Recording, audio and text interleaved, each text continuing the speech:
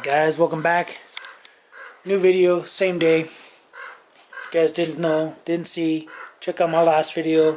I check a take a borescope camera down there to see if everything's uh, good with the Audi. Everything does look good, so I'll pull the car out. After the truck is fixed, I'll pull the car out and then I'm gonna wash, spray a bunch of simple green inside the engine compartment, which all went back together original.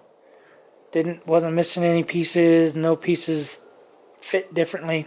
It's kind of nice because usually on these cars hoses wires something just doesn't fit right when you go to put it back because I had to lay all the wiring back. But anyway onto my truck.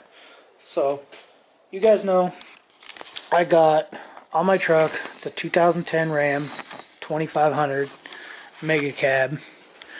I don't want to go out there because there's a video that I got to make about something over there. Anyway, uh, when I bought the truck, so I had a 2012 uh, SLT quad cab or four door, whatever you want to call it. And a guy at work wanted to buy it. He bought it. I bought a mega cab, and then did a lot of stuff. There's you can go to the uh, um, playlist, look up Drunken Ram, stuff on it. Anyway, I put the Ram Man front locking hubs on it. Okay, let me go back. When I bought the truck, the front gears, the front bearings were shot in the front diff. Uh, shot like really bad. It turns out that the breather tube was cut. He drove through a lot of water because he lived in Arizona, had the monsoon rains, sucked up water, I'm assuming. So um, put new bearings in there, new races, new seals, everything in the front diff, and uh, it used to whine really bad, like like grinding noise, and uh, that's why I did the front. And then I opted to do some Ram Man. Hi guys. Opted to do some Ram Man front front lockers, front locking hubs. Um, it's a whole wheel bearing. There's a video for that. Uh, so this way the, the transfer case, the front diff just isn't spinning because on these trucks, the fourth gens, third gens, all basically all Dodgers. Um, it's only certain models that have certain things like an actuator that actuate the axle. Some of them have have lockers, I believe. Um, that's what I've read, um, or locking hubs, I should say. Anyway, uh, yeah, so uh, I did that so this way the front, because the noise was still there even after I did uh, the bearings and everything. So, and I was like, well, I just didn't do it right or something. And then uh, I was thinking that the noise might be in the transfer case. I changed the fluid. Transfer case fluid was cooked. Put new fluid in there. Anyway, um, so I've been driving the truck for I don't know, 6,000, 8,000 miles now on these, uh, the Ram Man Inc. hubs.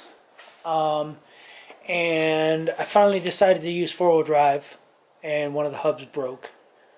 Uh, not the bearing, just the hub, because it's a just a Ford hub, and apparently Ford parts can't handle the torque that the Cummins puts out. anyway, so I've been having a whining still, did some whining. I put some moly lube, some additive in the front diff, thinking the front diff would spin, but I'm stupid and forgot that the front diff, nothing spins. Check, came home yesterday, checked the transfer case, because I'm thinking, well, the rear bearings got to be bad, but when I pulled the rear diff cover off, fluid was really good.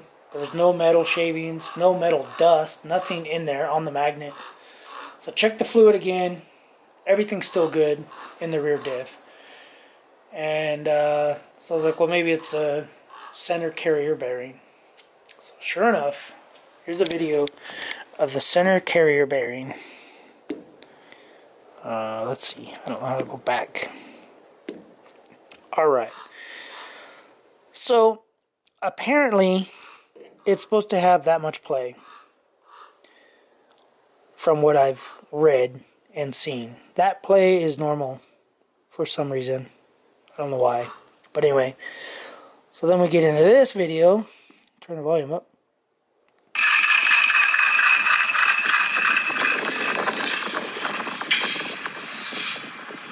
I'm gonna play it again.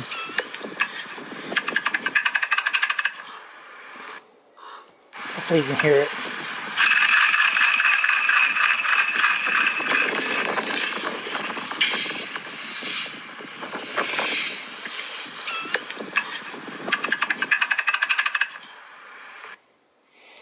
So, anyway, that's what I think my noise is. So, I'm going to go to CarQuest, Advanced Auto Parts, whatever they're called. Go see if they have one, because they have a lifetime warranty. AutoZone has one, but they don't offer lifetime warranty stuff on a lot of parts anymore. Um, their lifetime warranty's pretty much gone away because I'm assuming they restructured and they're losing all kinds of money. Um, but anyway, uh, so I'm gonna go to CarQuest. It shows that they have one here locally, which is like five miles away. Go there, see if they have it. If they don't have it, then I guess I'll have to go to the good old AutoZone, and hopefully it doesn't ex explode uh, at month 13. Um, but yeah, anyway, so I don't want to go out there. It's too windy. Um, it's just windy. So take the wife's car and uh, go get that part and a couple other parts.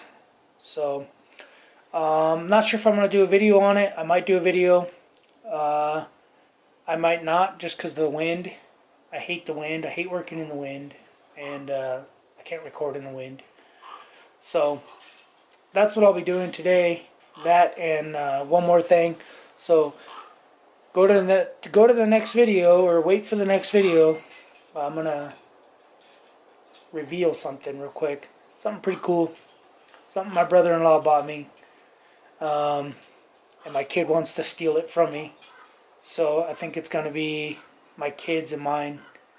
Um, but yeah, I'm gonna go check it out right now. I'll do a video, and uh, we'll go from there. So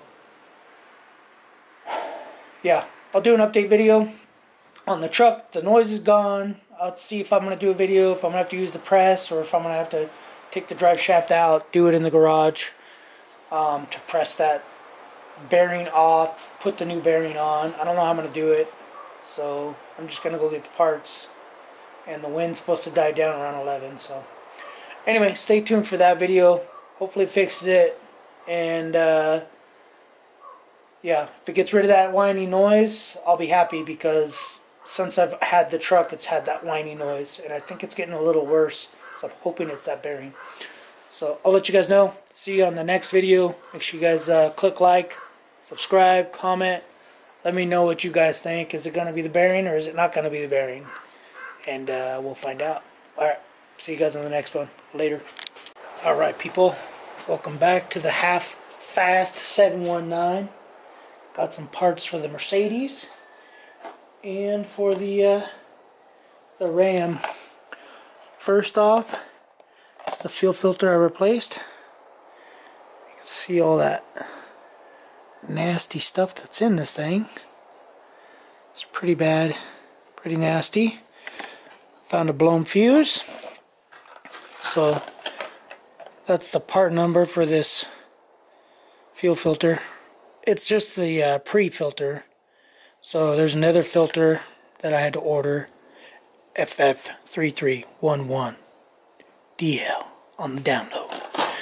I bought some assortment of wing nuts, which I'm pretty sure I already have, but whatever, and some Bussmann German German auto fuses. Anyway, bought some fuses because one of the fuses that fuse right there for the said blower motor. I tried running the blower motor after I replaced it, didn't work, but the windshield wipers work now. Alright, onto the truck. So, went to CarQuest, uh, Advanced Auto Parts, whatever you want to call it, and picked up this this Chingalingi this uh, carrier support bearing. So he said it's the wrong one. I said I don't care. I'm gonna try it. So anyway, um, basically what I'm gonna check is oh obviously I took my drive shaft out. I didn't want to do it. It's windy. It's still windy. But anyway, what you need is a 15 millimeter. Undo the four bolts back there. Jack it up so that you can so you can twist it a little bit. Four bolts there. Tap it with the hammer. Let the drive shaft hang down and rest. Because if you drop these two bolts here, these two, if you drop those first, then you got all the weight hanging on it. So it's easier just to undo those, tap it with the hammer. Those, tap it with a hammer that way. Boop. And I did mark it, so it is marked. If you see the little white mark right, right, right. Where's my finger? Oh my gosh. Right over there. So I marked it, so it's going to go back in the same spot. I did also mark the slip joint so basically where the little hose clamps are, I marked it all the way down. So, uh, yeah, and then it just slides out of the transfer case. You're going to get a little bit of leaking fluid. So these two are 15, 15 millimeter sockets or bolts. So those are 15 millimeter. Try to use a six point, a six point socket. I'm using a 12 point, and you can see it's kind of rounding the edges. So I'll probably switch over to a Oh man, to a six point socket. Oh, anyway, so now we can get to this. So I slid it out. Obviously, you can see somebody else already did it or did something. There's a white mark there. I marked it there, and it's basically on the same mark that they marked, which went in line with the whole hose clamps. So, get this off first. I took a pry bar, two pry bars, went boop, and then spun it, boop, boop, came off. So, now we got to see if it's the same diameter, which looks like it is. It's a new one. It's to go on like that. Yeah, it'll go on. Because they, he's all, they have multiple options. One's a 30 36 millimeter, and he said one is a, a 40 millimeter. And I said, well, it's three quarter ton diesel, so it's probably the bigger one. So you'll have to tap that on. Um, now I just want to check the mounting holes before I do anything, just in case I have to throw it back on.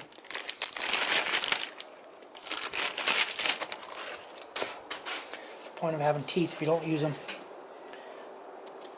So, I'm assuming, obviously, I'm assuming, I'm assuming, doesn't really say forward, backward, made in China. I don't really know. So that hole lines up and that hole lines up. Boop and boop. So obviously these holes are a little bit slotted.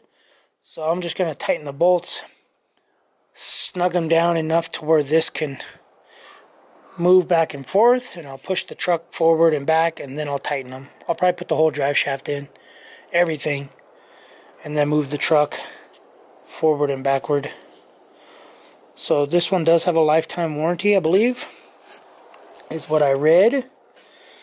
Um, I just wish I knew which was forward and which was doesn't really make any sense because this one obviously is forward because it goes there. But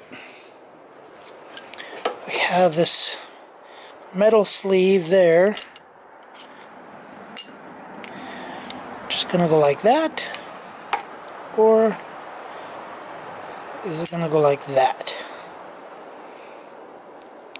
I'm assuming I decide. So, anyway, you can see this one. Got a lot of play in it. And it sounds really bad. So, anyway, let me throw it all on. Let me press this one off. I might use a bearing, a bearing puller, this little tool here. what I'm going to try first is I'm going to try sticking a punch in here a little small punch, and trying to punch it off so I don't damage anything on the backside. Not sure how secure these are, but that's what I'm going to try. And uh, whatever works, I'll let you guys know. And uh, and I'll demonstrate it on the here coming up in a little bit.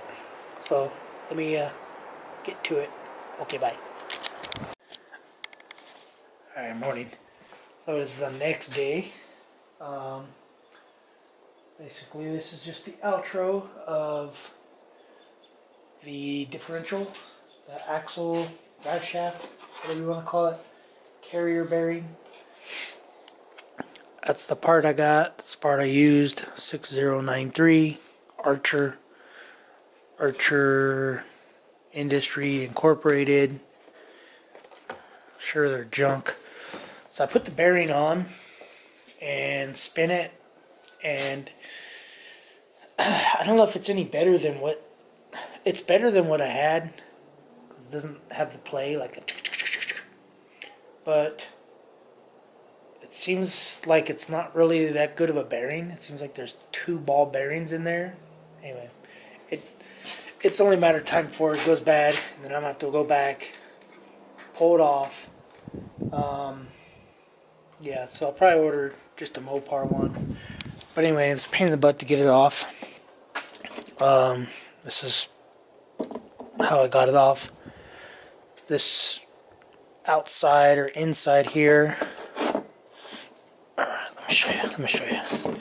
So these basically go in there, and they got these little crimped spots, like one, two, three, four, that are flared out that way. So I just flared them in, tapped tap this whole bearing out of this.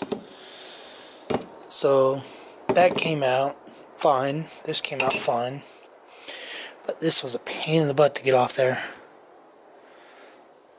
So, put a bearing puller on there, but it's hard to get a bearing puller because the bearing is recessed so far back in there. So, yeah, it was uh, it's definitely a nightmare to get off. I had to use a punch and a puller. I used the bearing puller anyway, and a punch, and I was basically punching, punching, punch, punch, punch, punch everywhere around that I could to slide it off. And then it made a pop, and then it just locked on there. So, um, yeah. This is what I used. Bearing puller thing with a bunch of extensions on it. So, and then I was beating on it on the backside. So, Anyway, I was hitting on it to drive it off. Wouldn't work. And it was a pain in the butt. And then I had this piece of pipe. And that's what I put it on with. Put the new one on, slid it over, and then was hitting this side to press it on. so, anyway, um, yeah, got it done. Noise is gone. No uh, whining noise coming from the truck. So uh, truck drives smooth, no vibrations, so everything's good.